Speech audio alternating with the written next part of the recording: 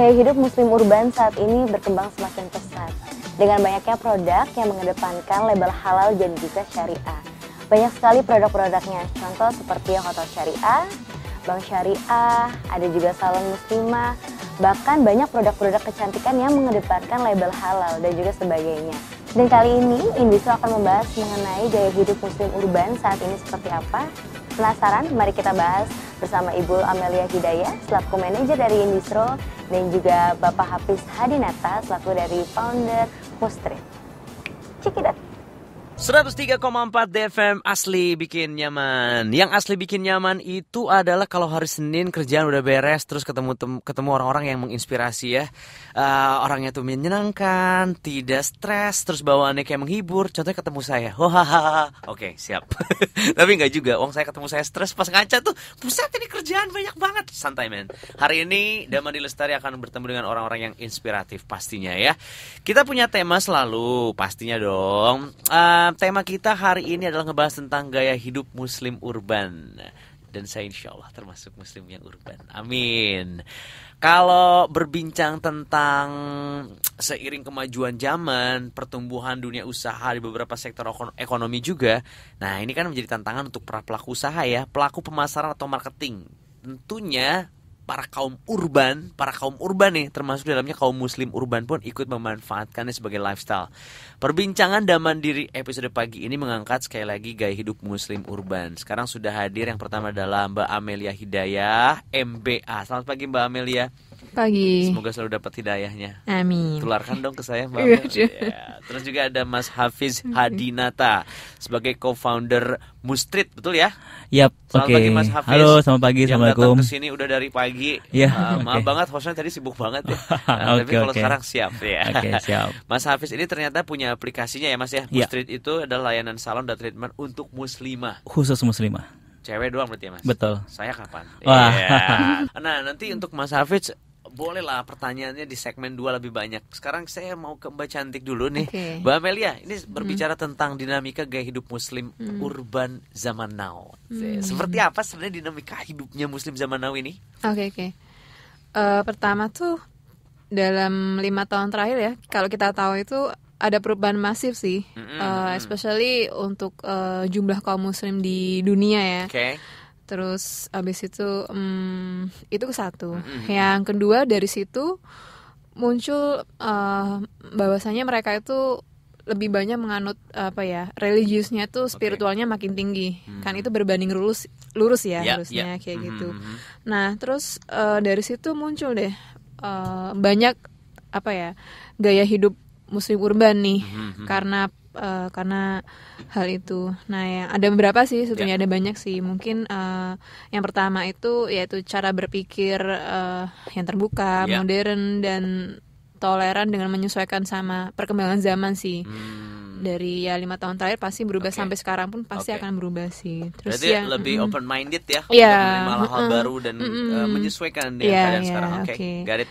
Uh, uh. Terus yang kedua, nah ini uh, karena jumlahnya yang bertambah hmm. maka kayak ada bertambah pula lah mereka yang uh, masif untuk hijab pakai hijab yeah, kayak gitu. Sering nah, banget sekarang. Ha, ha, Bahkan teman-temanku aja yang tadinya gaul banget gitu, ha, tapi sekarang benar-benar berhijab, tapi tetap gaul. gaul nah. Jadi bukan berarti menghentikan hmm, kreativitas dia. Sebetulnya nggak saklek sih. Ya, ya, mereka ya. memandang tuh kok kalau yang sekarang tuh mereka memandang bahwa kereligiusan itu nggak harus diikuti dengan saklek sih. Ya, Jadi okay. kayak gitu. Tetap tetap uh, tetap beraktivitas uh, gitu ya. Uh, Cuman lebih baik dalam iya, artian ya. Betul, siap betul, siap gitu. siap. Gitu. Terus okay. um, berikutnya itu hmm. nah ini nih uh, karena banyak hijab, nah muncul muncul mereka pakai role model sih. Yeah. Jadi uh, banyak kayak artis, kemudian yang awalnya nggak berijab sekarang mulai berijab katakanlah kayak misalkan Dewi Sandra, hmm. Zaskia Aditya Adia Meka, Siresuka dan masih banyak lagi. Ya, nah, okay. kalau kayak gitu. Okay. Menginspirasi ya. Uh, gitu ya. Uh, uh, ya. Nah, terus sekarang nih yang uh, saya bilang kayak unik nih, mm -hmm. ada sebutan namanya uh, ini Miss Mipster ya.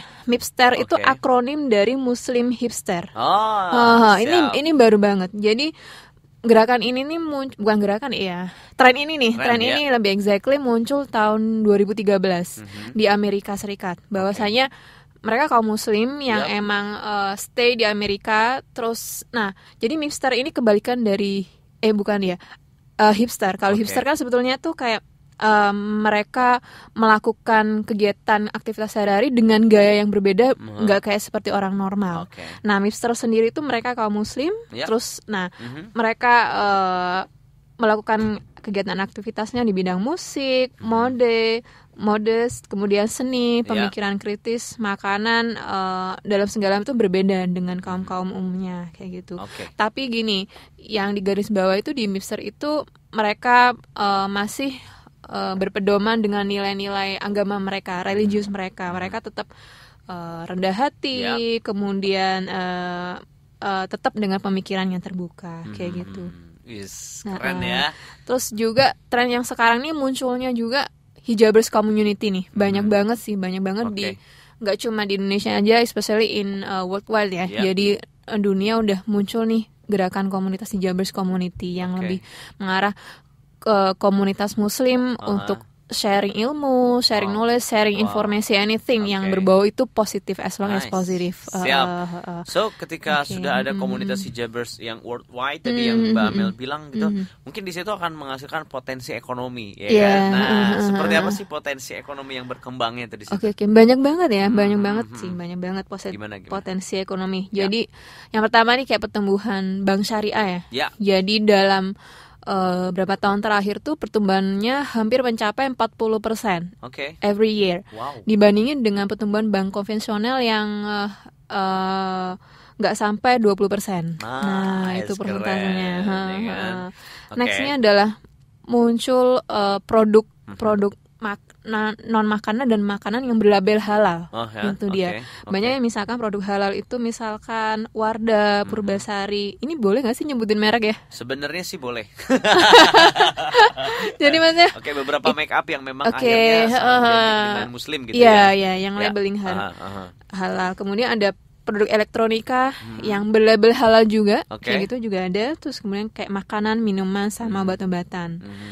Terus nextnya kayak misalkan busana muslim nih, busana Ya. muslim yang udah uh, brand terkenal. Bener. Nah, itu udah banyak Berani banget. ya. Hah? Akhirnya berani gitu Iya, ya untuk uh, mengeluarkan uh, tren uh, buat uh, muslim ya. Yes, yes, siap, yes. siap, siap, Uh, siap. Karena itu tadi sih yang pertama tadi kan kita Ya. udah ngobrolin. Pangsa tentang- pasarnya sudah terbuka akhirnya. mm, mm, mm. Wow. Uh, uh, Oke, gitu. tapi sekarang juga muncul beberapa yang mengedepan ngedepanin uh, soal halal dan syariah itu Iya, ya. iya, iya. Misalkan ada kulkas halal katanya, Uh, terus uh, juga ada uh. kerudung halal, hotel syariah. Iya, nah, benar-benar, fintech benar-benar. syariah. Mm. Ini nih kebutuhan pasar memang sudah ada apa diciptakan dulu supaya untuk dibikin peluang akhir atau gimana? Oke, nah ini nih yang menarik. Ya. Yang pertama sih awal mulanya adalah kenapa muncul eh, eh, apa labeling Ya. halal kayak gini. Yang pertama tuh jumlah muslim yang udah banyak sekali ya. Hmm, hampir eh, pastinya. hampir mencapai kalau di Indonesia aja Yap. nih uh, in numbering tuh ada 209,1 juta atau Wow. 87,2 persen nih dari total penduduk Indonesia. It's Oke. mean a lot.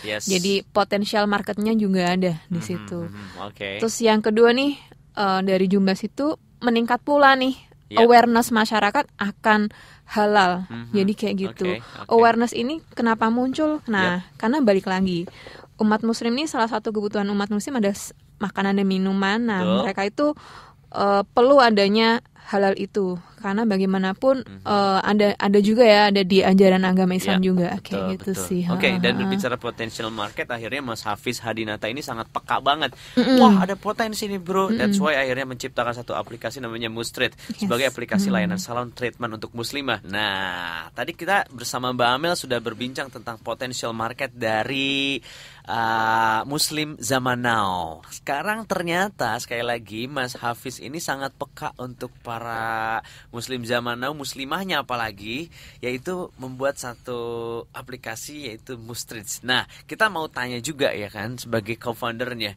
Dari mana nih Mas Hafiz idenya untuk membangun Mustreet ini? Apakah dari pasangan sendiri ya yang akhirnya boros harus pergi ke Oke. salon ke mana-mana atau mungkin eh, di sana salonnya kurang syariah gitu kan? Oke. Gimana? Silakan Mas Ya, Hafiz. eh, jadi sejarahnya itu eh, saya dan istri sebelumnya memang sudah mempunyai salon khusus wanita, khusus muslimah Oke. di daerah Depok.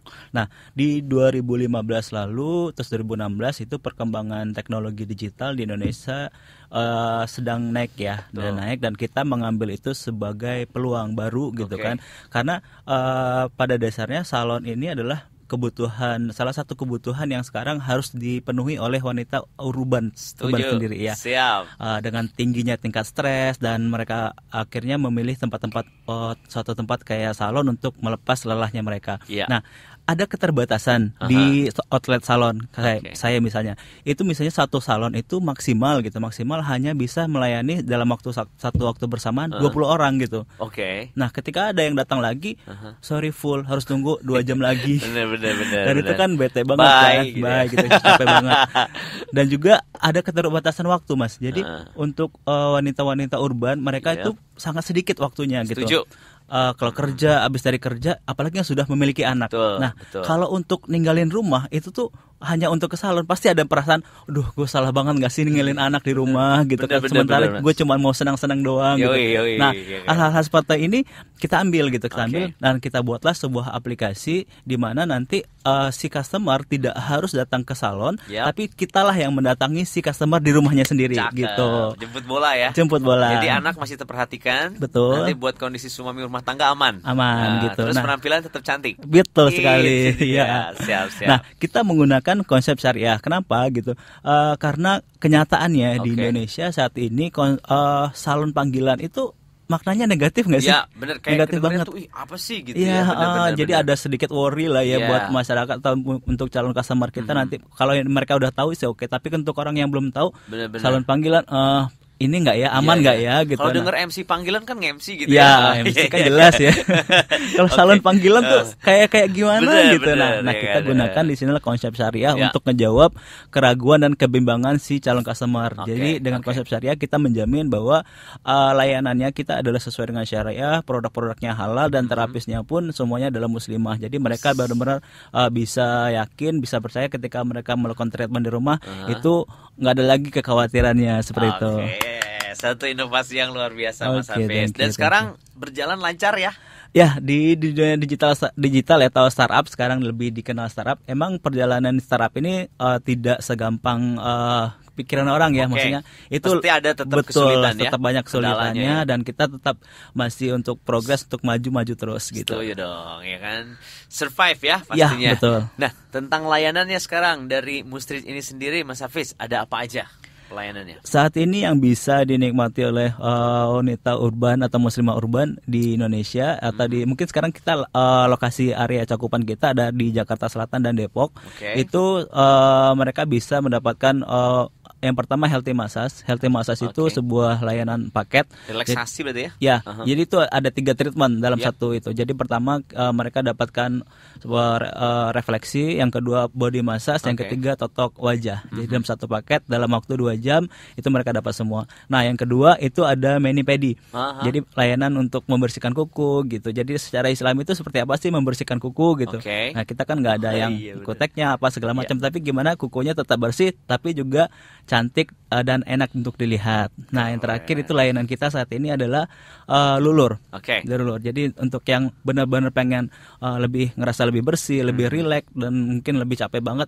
di sana perawatan yang lulur ini bisa jadi salah satu Oke. optionnya. Betul. Meskipun selama ini ibaratnya sudah tertutup segitu ya badannya, tapi untuk dialur kenapa enggak gitu Ya, ya? karena kan Wah. setiap hari sel tubuh kita banyak yang berganti kan. Nah, untuk wanita kan itu uh, sangat uh, sensitif sekali. Kalau misalnya kalau kita nggak pernah ngebersihin sel Oke. kulit mati, pasti Ya. ada ada yang bau lah, ada apa segala macam dan Benar. pasti nggak segar banget gitu. Tapi kalau Mas Hafiz tadi bilang 20 orang ibaratnya ke salon yang nggak terlayani, Ya. sekarang sudah bisa melayani berapa orang dalam satu momen gitu panggilannya? Uh, masih belum banyak sih. Kita masih coba kerjasama karena kan ini uh, konsepnya masih kita open dan kita masih banyak banget uh, perubahan-perubahannya. Tapi real salonnya masih tetap ada ya? Real salon tetap Ah, ada. Dan iya, sekarang betul. real salon itu adalah yang mensupport salon online kita gitu. Setuju, kita nanti akan buka kerjasama untuk semua salon muslimah yang ada di Indonesia untuk bergabung sama Musrid. Jadi Oke. eh, salon itu nanti yang sudah punya outlet mempunyai dua Ya. eh, kita bekerja sama ya. Yap. Jadi Oke. salonnya tetap jalan Mhm. dan di luar salon pun mereka masih bisa mendapatkan tambahan income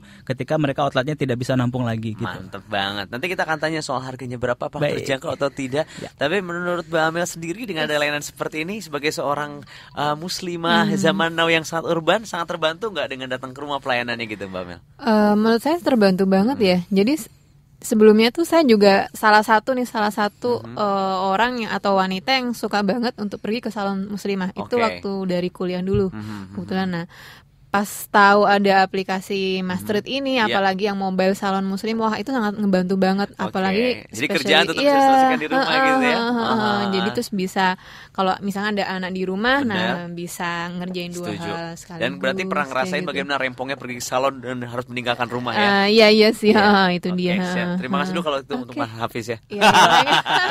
Kita masih berbincang tentang uh, muslimah urban zaman now ya kan. Lagi dengan Mas Hafiz dan juga Mbak Amelia ini kita berbincang tentang satu produk yang kece banget buat muslimah yaitu uh, Mustreet dengan aplikasi layanan salon dan treatment untuk muslimah nih. Nah, tadi di akhir kita ada pertanyaan adalah tentang harga ya Iya. kan. Bahkan adalah salah satu marketing kita yang sudah nanya duluan ya, tapi off air. nah, kita akan on air kan ya kan. Gimana Mas Hafiz untuk harganya sendiri pasti terjangkau dong. Iya dong. Jadi Hmm. kita emang ngeset harga eh, sudah kita hitung untuk kebutuhannya juga. Kita Iya. untuk eh, layanan itu selama dua dua jam itu Mhm. kita eh, tarifnya tiga ratus ribu rupiah. Oke, tiga ratus ribu rupiah. Tiga ratus ribu rupiah untuk dua jam. Oke, itu apa aja tadi? Boleh diulang untuk tiga ratus ribu tuh? eh, Tiga ratus ribu treatmentnya? itu treatmentnya eh, boleh pilih mulai dari healthy massage. Kalau healthy massage dia akan dapat tiga layanan, mulai. Oke. dari totok wajah, terus body massage sampai refleksi. Mhm. Terus ada yang kedua eh, boleh pilih mani pedi, berarti untuk membersihin kuku ya. Tapi Oke. tetap ada hand massage-nya juga. Aha. Terus yang terakhir ada eh, lulur, body lulur, eh, Oke. lulur seperti itu. Wow, untuk dua jam dengan treatment tadi yang dikasih tahu sama Mas Hafiz sangat terjangkau ya dengan Iya, tiga ratus ribu. udah nggak perlu bayar eh, ongkos ongkos juga. Jadi Mhm. cuman bayar tiga ratus ribu semuanya udah dapat gitu. Aman ya. Iya. Terus ada mungkin masukan dari customer yang selama ini pengen ada treatment apa lagi mungkin sekarang Mas Hafiz? Ya Kira-kira? banyak sih customer eh, minta ini pasti banyak ya kebutuhan customer kan banyak Ya. banget. Cuma kita belum saat ini belum bisa merealisasikan semuanya. Tapi Mhm. mungkin akan bertahap kita akan prioritaskan apa-apa saja yang eh, paling dibutuhkan terlebih dahulu gitu. Wow. Karena kan butuh pelengkapannya juga ya. Oke. Yang paling banyak sih pengennya eh, rambut. Rambut juga Rambut, ya. rambut. Cuma Tapi ini all segmen ya, Mas Hafiz. Maksudnya nggak ibu rumah tangga yang ibaratnya masih sekolah atau masih kuliah juga bisa ya? Eh, kita sih open untuk semuanya, cuman semua waktu- ya. kita menargetkan ya emang nggak nggak semuanya kita targetin gitu, Betul, karena betul. eh, di digital marketing juga kita harus benar-benar mensegmenkan Oh iya, orang setuju. yang pas Ada di marketnya segmennya kita, ya. iya betul. Tapi mungkin nanti customer ada yang cari imam kabarin aja. Oke. Ya. Oke, sekarang kita ke Mbak Amel ya. Mbak Amel, ini kita berbicara tentang Muslim zaman now. Pastinya juga teman-teman di luar sana ingin um, apa ya bergabung di satu komunitas gitu kan. Nah, bagaimana caranya? Mungkin Mbak Amel bisa memberikan solusinya supaya bisa terbawa gitu kan, tetap oke. bergaul tapi yang positif. ya Oke, kan? oke. Gimana? Mbak Amel? Eh, untuk join di inkubator ini Ya, ya, boleh, Oke. boleh Ha, ha, ha. ya. Oke, nah untuk join sih kita ada eh, kita ada ru- apa ya? Ada ruang inkubator bisnis Ya. yang bisa teman-teman eh, go, Mhm. maksudnya pergi langsung. Itu Ya. alamannya di Universitas Trilogi Oke. di gedung inkubator bisnis Trilogi lantai 1. Untuk kontak personnya bisa di Eli, Mhm. Di Mbak Eli ya. ya di Kak Eli Di KLI, ayo nomornya 0857 0857 1670 Ya.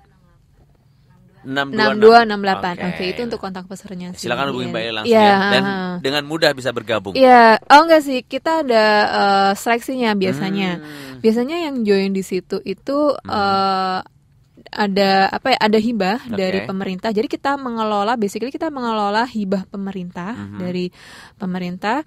Nah, nanti orang eh, kalau mau apply masukin proposal. Oke, Heeh. oke. Nanti kalau mau lebih lanjut bisa hubungin Kak Eli sih biasanya untuk siap. itu. Yang pasti tetap ada seleksi ya. Iya betul. Nah Ah. dan untuk informasi nih kita dalam minggu ini lagi persiapan juga untuk proses seleksi di hibah pemerintah itu lebih Ah. tepatnya. Nah dan foundingnya juga gede sih. Oke. And the maximum itu tahun lalu itu 300 juta, 250 juta ke atas. Wow. Heeh. Nah Oke. kit- si jadi orang-orang yang punya bisnis Mhm. yang udah running sih bisnisnya eh, tiga tahun gitu maksimum tiga tahun mereka bisa eh, daftar ke kita Mhm. nanti kita akan eh, bimbing mereka lakukan pendampingan Mhm. dengan kayak ada data isian yang harus diisi sih dokumen-dokumen yang harus diisi minggu Oke. ini kita lagi fokus ke situ. Sebenarnya saya sama Stella juga punya bisnisan sih. Cuma Oh, dengar seleksi tadi kayaknya udah kita udah mundur.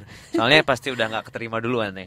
Thank you ya. Oke. Ya, Eh, oke. terus juga untuk Mas Hafiz ini Iya. dengan akhirnya uh, bergabung di inkubator bisnis in bistro, Ya. perannya untuk dari Mustrid ini seperti apa dan nanti mungkin yang mau download aplikasinya boleh dikasih tahu caranya juga. Oke, eh, yang pertama untuk gimana sih caranya ngedapatin layanan dari Musrid? Yap. Pertama, eh, teman-teman bisa download aplikasinya, bisa di Android, bisa di iOS juga, atau yang mungkin space handphonenya udah nggak cukup, bisa juga via website Ya.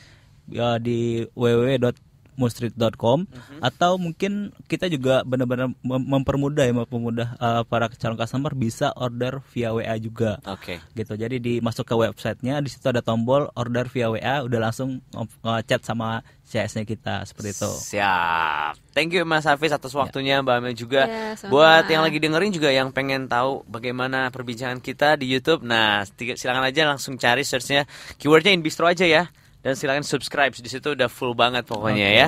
Nah, kita berbicara tentang cerdas memanfaatkan peluang pasar yang sangat terbuka termasuk menjadikan kaum urban sebagai pasarnya sehingga mampu membangun gaya hidup muslim urban kekinian. Ini salah satu kejelian yang memang harus sudah mulai dikenalkan dan dibangun melalui jiwa-jiwa entrepreneur muda kaum urban, termasuk kaum urban muslim sebagai pangsa pasarnya. Entrepreneur-entrepreneur muda kreatif juga bisa berkolaborasi sekaligus menjadi mitra strategis yang bukan saja ikut berpartisipasi, melakukan inisiasi, melatih dan mendorong pola memasarkan hasil usaha ekonomi produktif ya dari para pelaku usaha binaan Yayasan Dam Mandiri bersama para mitranya di desa-desa Mandiri Lestari. Semakin dikenalnya hasil usaha ekonomi produktif di desa Mandiri Lestari secara luas, ini akan menumbuhkan harapan sejahteraan masyarakat baru desa rintisan menuju kemandiriannya secara lestari. Saya Banyu Nugra, Murfifiri dan Hari Setiwanto pamit sampai ketemu lagi di episode berikutnya. Selamat siang. Nah, ternyata gaya hidup muslim urban itu benar-benar berkembang sangat pesat banget loh sekarang. Contohnya kayak tadi, termasuk salah satu tenan dari Indistro. Ada Mustrid yang merupakan salon muslimah yang memberikan pelayanan-pelayanan salon secara syariah.